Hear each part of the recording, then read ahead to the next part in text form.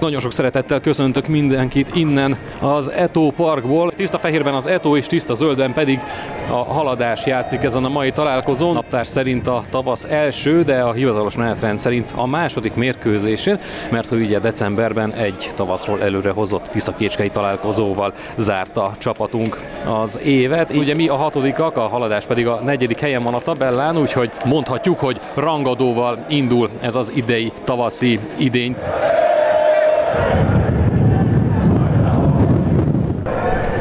Megpattanó labda, Hű, pedig ez pedig a kapufáról jön ki, és bevezet a haladás. Tóth Milán 17. percben megszerzi a haladás vezető gólját, és azt kell mondja, hogy még kicsit szerencséje is volt, hogy pont oda pattant elé a labda.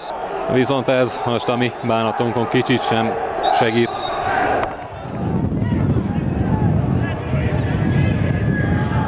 Egy távoli lövés, nagyot nyújtózkodott Fagyas, nem kellett végül is belenyúlni a csilus bombájába. Egy félidőnyi játék után Eto FC szombatai haladás 0-1.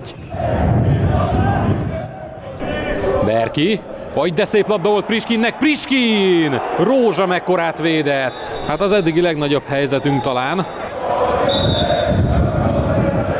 A lapos lövés pedig nem is volt rossz, nagyot védett Fagyas. Középen pedig Lencse várná, ott azt a labdát azt nagyon ki kéne onnan vágni, ne kotorgasson ott azzal Lencse. 2-0. Tóth Milán második gólja a mérkőzésen, szerencséje is volt, mert megpattant a labda, elmozdult. Fagyas Tamás, 64. percben 2-0-ra vezet a szombathely. Toma.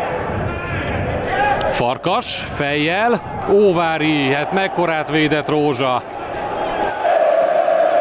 Három perc van hátra ebből a mai találkozóból. Kálai. Kálai lövése, Fagyas megfogja.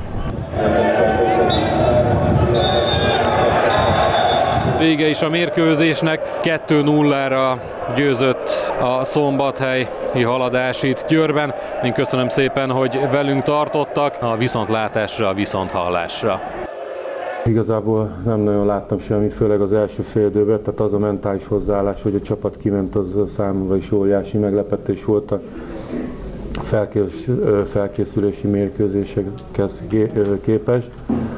A második fél időben azt mondom, hogy az már ugye jobb volt, beszorítottuk az ellenfelet, de hát akkor is hiányzik a, az a átutó erő ott a támadó zónában, hát helyzetek tömkelege volt, még azt mondom, meg kellett volna nyerni a mérkőzést is